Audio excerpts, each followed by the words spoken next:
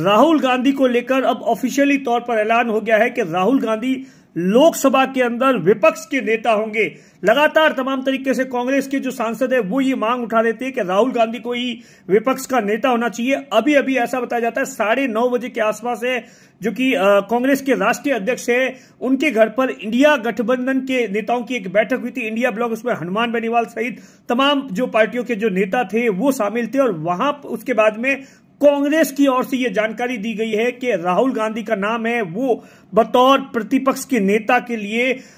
भेज दिया गया है। दरअसल आप देखिए ये प्रतिपक्ष के जो नेता होते हैं, वो आमतौर पर कैबिनेट का दर्जा होता है। अब ऐसे बहुत सारे फैसले होंगे जहाँ पर तीन लोगों की कमेटी होती है, जिसमें प्रधानमंत्री होते हैं और प्रतिपक्ष के नेता होते हैं और एक और कोई मंत्री भी होता है। तो कुल मिलाकर आप देखिए राहुल गांधी जब